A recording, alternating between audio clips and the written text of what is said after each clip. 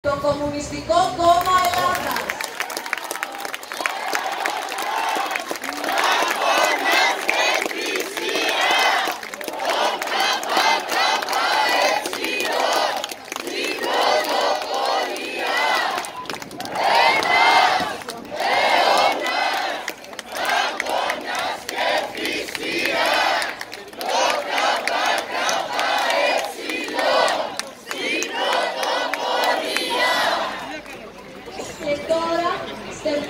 καταθέτει η Κομμουνιστική Νεολαία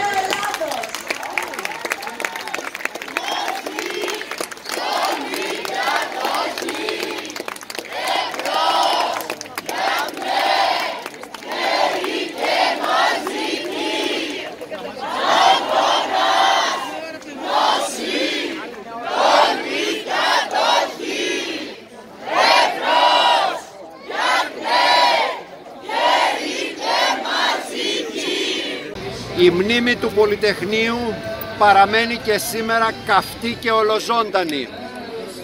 Μας διδάσκει ότι η κόντρα σε αυτόκλητους σωτήρες και σε μια λογική αναμονής ο μαζικός και ανυποχώρητος λαϊκός αγώνας μπορεί να ανατρέψει ακόμα και τους πιο αρνητικούς συσχετισμούς όπως έγινε το 1973.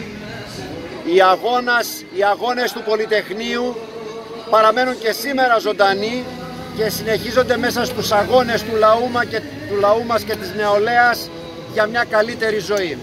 49 χρόνια μετά η εξέγερση του Πολυτεχνείου συνεχίζει να εμπνέει, να παραμένει ζωντανή, να φλογίζει τις καρδιές της νεολαίας των εργαζομένων.